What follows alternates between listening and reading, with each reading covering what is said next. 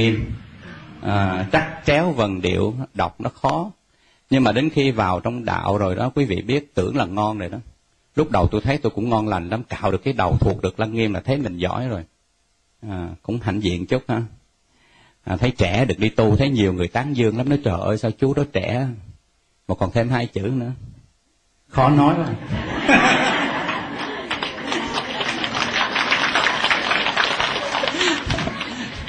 thì cho quý vị biết khi mà vào trong chùa mà cạo được cái đầu xuất gia rồi đó trở lại cái vấn đề mà nó thiền môn đó quý vị biết á là khi mà cạo đầu vô trong chùa tu rồi tôi tưởng là nó dễ.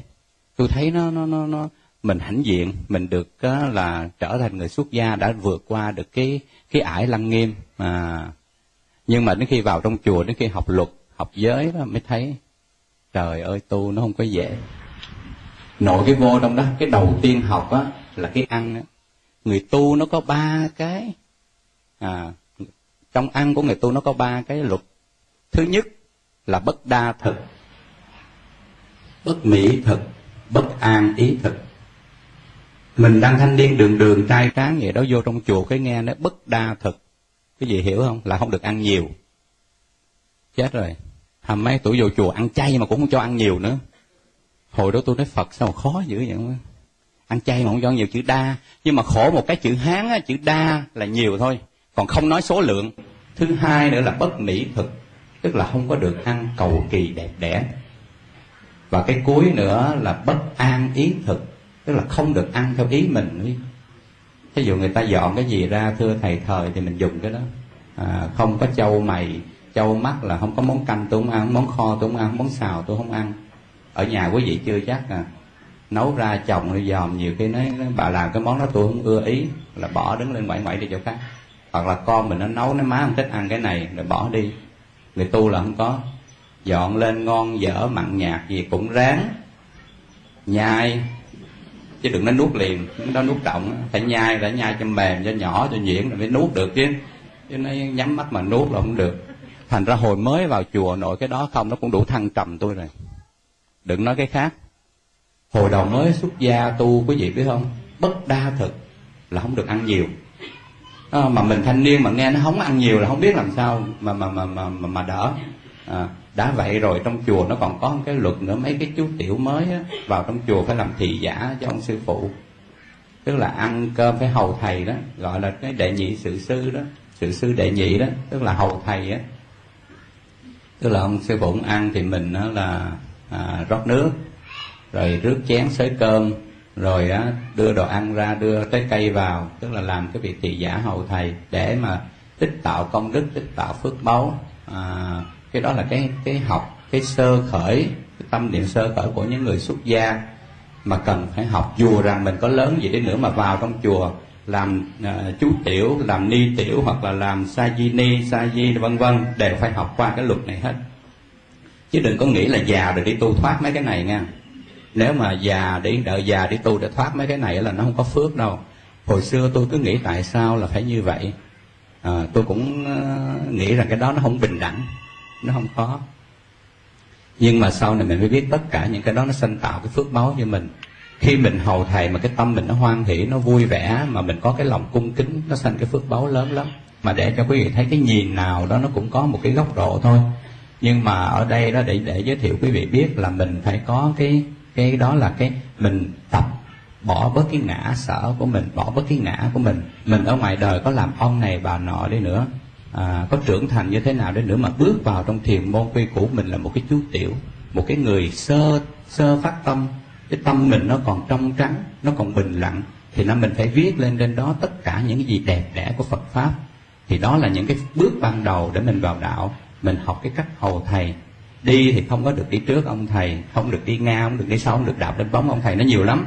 Cái này trong luật thì quý vị nào à, nghiên cứu tìm hiểu hoặc là có cơ hội mà các thầy thấy không à, không có phạm luật lắm thì các thầy hướng dẫn. Nhưng mà nó kỹ vậy thành ra đi với một ông thầy mình nhìn người đó là mình biết liền là cái người đó là có ở trong chùa ra hay không. Thành ra cái chữ thị giả rất là hay. À, nếu mà chỉ quý vị nào chuyên về chữ hán thị giả là cái người ở trong chùa cái chữ hán cái chữ nhân đứng bên ở bên là cái chữ tự tức là người ở trong chùa đó là cái người đó mới biết việc. À, còn người mà ở ngoài đời đó nhiều khi biết nhiều khi biết giỏi hơn biết hay hơn nhưng mà hay cái khác giỏi cái khác chứ còn cái lễ nghi cái oai nghi cái cách thức à, để mà thị giả chăm sóc hậu thầy thì cái đó nhiều khi phải học từ ở trong chùa à, thì thưa quý vị thì uh, trở lại cái vấn đề nó là như vậy. Khi vào trong chùa học mình tưởng là nó đã nó đã mình là như vậy là mình đã có cái tâm niệm tu tập nó đã tốt rồi. Mình đã chịu là ép mình ở trong cái khuôn khổ rồi. Nhưng mà khi vào trong luật mình thấy nó còn nhiều lắm. Nội cái ăn không người tu nó phải chịu cái rồi. Bất đa thực bất mỹ thực bất an ý thực. À nhưng mà sau này mình mới thấy đó tôi nói tại sao tại sao ăn chay mà còn khó gì ăn chay mà cũng không cho ăn nhiều nữa làm sao mà có sức? Nhưng mà sau này mới biết rằng ngoài cái ăn đó rồi còn có những cái phương pháp khác. Tụng kinh lễ bái ngồi thiền lạy phật. Đó mà nhất là trong cái tọa thiền. Đó nó điều tiết nó đem nó giữ được cái cái thiền duyệt vi thực mà. Trong cái khi thiền đó thì đó là nó đem nó tạo ra cho mình nó như một cái chất đề hồ nó giữ thân nó nuôi thân mình. Nó nó cũng như là cái thức ăn. Mà cái thức ăn này á, là nó khi mình ăn cái vật chất bên ngoài vào để nó tạo cái năng lượng để nó nó nó giữ gìn nó nuôi cái cơ thể. Thì khi mình dùng cái phương pháp tọa thiền thích thở cho nó đúng vận hành cho nó đúng khí lực thì nó cũng tạo ra một cái cái cái cái cái cái cái cái, cái năng lượng để mà nó điều hành cái cơ thể mình. Thành ra không cần ăn nhiều những vị thiền sư người ta ăn ít nhưng người ta vẫn tồn tại người ta vẫn khỏe. Còn mình thì ăn đủ thứ hết trơn á mà bệnh quá mạng luôn. À, sơ gan rồi ờ, đau bệnh gan rồi đủ thứ hết à, thành ra tất cả à, nhà thiền có câu đó là bệnh tùng khẩu nhập họa tùng khẩu xuất. Cái bệnh nó là do cái miệng nó đưa đồ vô đó. Ăn bậy ăn bạ nào là thịt lương thịt rắn thịt ếch thịt nhái rồi. Uống thì uống máu rắn máu máu gì đủ đủ thứ loại hết. Thành ra vô nó bệnh hết. Thành ra bệnh thì tùng khẩu nhập. Bệnh là do cái miệng ăn uống đưa vô mà họa tùng khẩu xuất. Tai họa nó đến là do cái miệng nói ra nói bậy nói bạ nói người ta ghét nói cho người ta rầy nói cho người ta la nói cho người ta oán nói cho người ta hận. Ghê lắm. Thành ra nội tu cái gì tu mấy cái đó thôi đừng có đòi hỏi nhiều. À, thành ra cái ăn mình phải biết kiềm chế mình phải biết giữ gìn.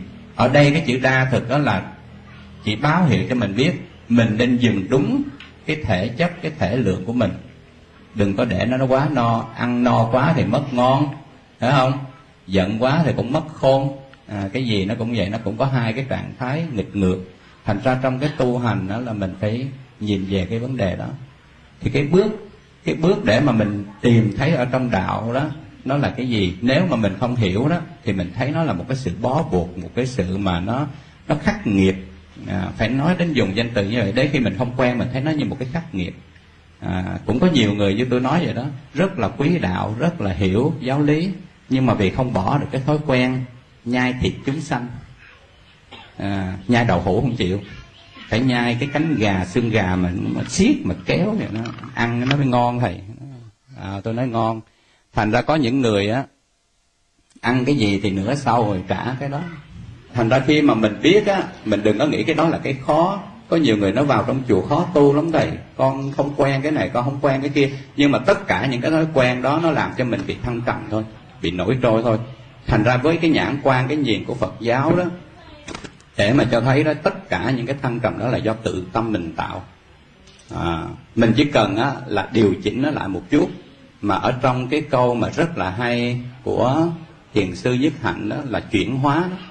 Khi mình chuyển hóa nó được rồi đó tự nhiên mình thấy nó bình thường nó nhẹ nhàng. Nó là một cái điều mà à, như hơi thở của mình. Nó bình thường nó nhẹ nhàng vậy nó không có bị mà bị mà gượng ép mới vào đầu mới vào chùa lúc nào cũng khó. Quý vị biết phải hầu ông sư phụ à, thành ra đứng lên ngồi xuống đó đưa cơm rót nước ra đó là thầy ăn xong rồi mình chưa xong. Vậy mà trong luật còn á, là có cái cái luật đó là ăn á, là không có được ăn trước thầy. À, ăn trước thầy á, là ăn hỗn à, dọn ra xong phải đợi ông thầy vô xá chắp tay niệm phật xong mới được ăn. À, thầy ăn rồi mình mới được ăn và ăn cũng không được ăn sâu thầy. Ăn sâu thầy là ăn tham. Thầy ăn buông đũa xuống mình còn ngồi đó mình nhơi. Không được. Thành nó ngã nào cũng kẹt hết à, ờ, đã vậy đứng lên hầu thầy bưng nước bưng ra thầy xong bữa rồi mình chưa xong chén. Thành ra mấy người nói vậy sao chú mà ăn trước mình chén đi? Ăn sơ cô tôi nói đó luật nó vậy đó. Ăn ăn trước thầy là ăn hổn mà ăn sâu thầy thầy ăn rồi mình còn ngồi đó mình nhơi ổng phải chờ mình nó còn ăn hổn thành tôi ngã nào cũng bị kẹt hết tối nào cũng đói bụng hết á mới xuất gia đói ghê lắm đói mà nhiều cái ngủ mà ôm cái bụng mà nó rột rột suốt ngày. Đúng á thầy anh bảo nói rất là đúng. À, khi mình à, vô trong chùa mới ban đầu đó cái gì nó cũng ngỡ ngàng và nó mới lạ. Có những điều mình tưởng chừng như là mình không chấp nhận được nhưng mà rồi mình cũng tìm ra được một cái lý giải của nó. Khi tâm của mình thay đổi chính tâm của mình thay đổi thì thăng trầm chúng ta quyết định ngay nơi đó. Quý vị thấy bây giờ đó, mình ở đây là mình nóng, mình nực, hoặc là mình lạnh gì mình cũng chùm hết. Nhưng mà ở bên cái xứ đan mạch có thể lạnh nó chùm cái gì nó cũng lạnh. Tại nó lạnh hết bên ngoài. Và đã vậy cái đầu trọc nữa thì tới đi luôn đi qua đi lại giữa băng giá đó, cho nên nó có người kể cho chúng tôi nghe là thầy cứ dỗ dỗ cái đầu hoài à. Tại vì sợ nó đông lại, ốc ở trong đó nó cứng đi. Rồi quên hết cái bà già bà đế.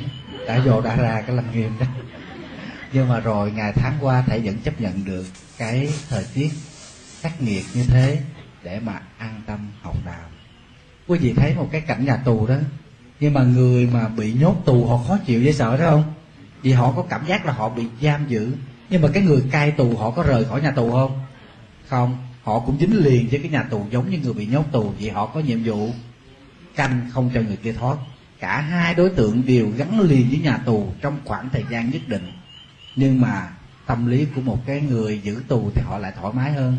Nhưng mà cái người mà mà bị người ta giữ đó, thì nó lại mệt mỏi hơn, nó lại khó chịu hơn. Chúng ta thấy ngay nơi đó cũng thăng trầm một hoàn cảnh sống, nhưng mà quan niệm con người nó khác nhau. Tất cả những cái bước thành hay bại của chúng ta ở đây, trước hết chúng tôi xin đề cập vấn đề đó là đời sống vật chất hôm qua chúng ta làm ăn được, hôm nay chúng ta không làm được. Hôm qua chúng ta làm thất bại, nhưng hôm nay chúng ta lại làm thành công. Nhưng mà làm được thì chúng ta lại vui, làm không được chúng ta lại buồn. Chúng ta làm thành công thì chúng ta mừng, thất bại thì chúng ta sầu não. Bây giờ xin hỏi quý vị, được hay là không được thành công hay là thất bại? Quý vị thử nghĩ trong một tích tắc một niệm đó, chúng ta làm sao để cho mình có thể bình yên được? Chỉ có một cách là chúng ta quên đấy đi. Chúng ta quên cái thành cái bại đó trong cái khoảng thời gian đó để mình lấy lại bình tĩnh thì chúng ta mới tính toán được, chúng ta mới sắp xếp được. Còn không thì mình rất là khổ. Cho nên vạn hạnh thiền sư có một bài kệ để mà nhắc nhở chúng ta về cái cuộc đời này rất là hay. Thân như điện ảnh hữu hoàng vô vạn mộc xuân vinh.